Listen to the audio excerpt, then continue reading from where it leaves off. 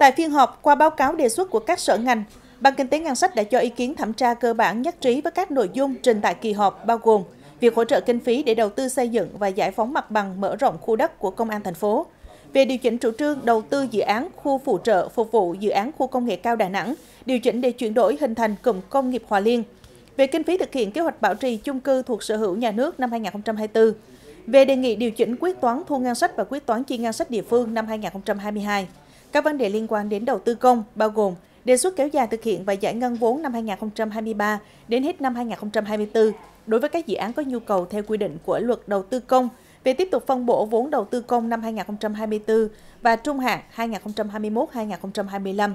Phó Chủ tịch Thường trực phụ trách Hội đồng Nhân dân thành phố Trần Phước Sơn cơ bản thống nhất các nội dung trình, đồng thời lưu ý một số nội dung cụ thể. Trong đó, với dự án khu đất của Công an thành phố, các sở ngành và quận Hải Châu cần lưu ý về quy hoạch kế hoạch sử dụng đất tái định cư, đề nghị Công an thành phố bàn giao đồng thời các địa điểm đã ngừng sử dụng cho thành phố.